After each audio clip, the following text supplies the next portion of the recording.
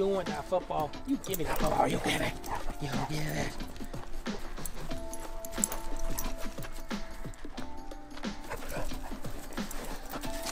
Give me that. Oh! What's up, guys? Back at the house. Three hours at uh, two grocery stores to get food for the next two weeks, hopefully a little more. It's crazy out there. I'm sure you're experiencing it yourself, wherever you are. Things are just really weird. I'm happy to see so many people wearing masks going to the store, but terrified to see how many people were going without masks. Um, more people with masks than not, but still, the thing that was concerning is that we all know what's going on and what we've been dealing with the last month or so, more than a month for me. Um, and if people don't start taking this seriously and following the rules and wearing masks and uh, I don't know when this is going to end. And I'm I'm nervous about that. And I don't think people are taking this seriously enough.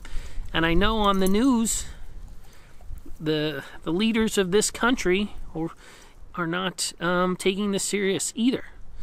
Um, some are, but we are just in a bad place. And if we don't, we we're not getting help from outside from the outside. It's going to be us that has to help each other. Um, and that means wearing masks when you go out to the store. And that means not going over to your neighbors or your family for visits and then going back to your house because we just can't do that right now. We it's just not smart. And if we don't start complying, this is this is going to go on for a really long time and that's just the facts. it's just the facts, at least until they can develop a test where we can find out whether or not we've had this virus. And once we have that, then you know if you've had it, then you're not going to be spreading it. But until then, we have to listen. And, uh, you know, it sucks. We all want to have, like, our lives back. But look, we're in a time where we have YouTube videos. We have Netflix and Hulu and all sorts of TV and cable and computers and music and books and your family and a phone. You can call people and Zoom is amazing. Everybody's using Zoom. There's a Zoom call starting in a few minutes in my house. I have to go be a part of it. There's things to do. We are not separated from one another. It is not that bad. We all used to wish to have like, oh, I wish I had a day to stay at home.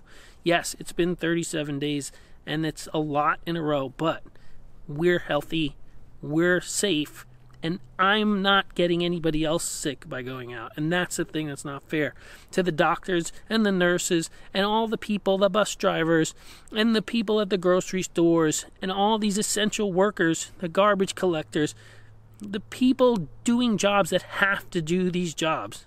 It helps if we don't get in their way and keep spreading things. So let's just listen, stay home, stay safe, take care of one another, and this will end sooner rather than later. If I see the amount of people I saw today going out like this is no big deal, this is just going to go on and on and on. So I'm going to get off my soapbox. I'm going to go get on my Zoom call. Barkley over there. Barkley and I need to go inside and, uh, you know, go talk to our family. So go talk to your family. Thanks for watching this video. Stay safe, take care of one another, and we'll get through this together, okay? We're all here for one another, and it's really important that we take care of one another, all right? So, I'll see you guys in the next video. Thanks for watching. Give me that stick. Give me that. Give me that.